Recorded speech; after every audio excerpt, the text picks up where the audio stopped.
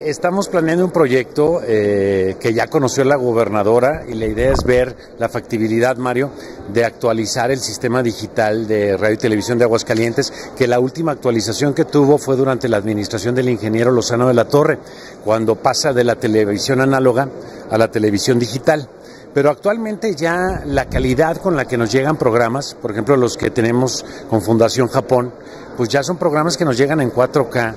y para poder hacer una videoteca que aspire a un futuro, pues ya necesitamos que nuestras producciones vayan sobre esta calidad mínimo de 4K. Entonces, pues para eso hay que tener un servidor con la suficiente capacidad de almacenamiento y el equipo de cómputo que tenga la velocidad suficiente para poder editar y hacer el render de un programa de una hora en 4K, pues ya te imaginarás el espacio que ocupa, ¿no? Eh, entonces estamos en ese proceso analizando cuáles son las mejores opciones. La Secretaría de,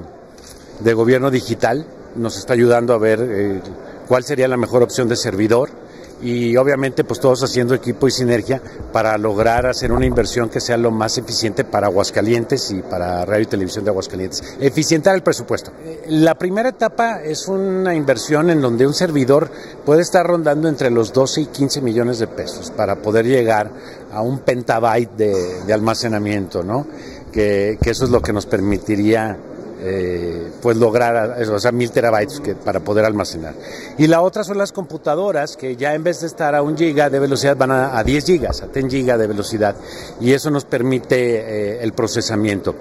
una inversión que no sería tan onerosa, pensando por ejemplo lo que costó la inversión de, las instalaciones nuevas, fueron cerca de 100 millones, la digitalización fueron más de 100 millones de pesos, ahorita es una actualización que entre unos 27 y 30 millones de pesos podríamos dejar al día eh, la infraestructura de radio y televisión de Aguascalientes, con todo lo que estos dos años ya hemos avanzado, porque hemos eficientado el presupuesto de una gran manera, tú lo has visto Mario, y la verdad es que hemos actualizado equipos que ya pues se van volviendo obsoletos.